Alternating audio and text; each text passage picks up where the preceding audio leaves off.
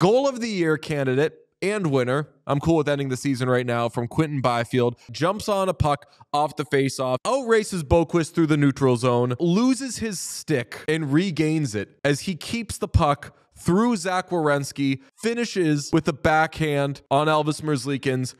Pete, three people died. For me, this this goal hits God tier for a few different reasons. The end-to-end rush is necessary for a god tier goal. You've got to have a defender, at least one defender getting embarrassed. And then like a falling desperation sort of finish is just mm. Definitely the goal of the year. I don't want to see another candidate. If you want to sort by not the problem for the Kings this season, he's near the top.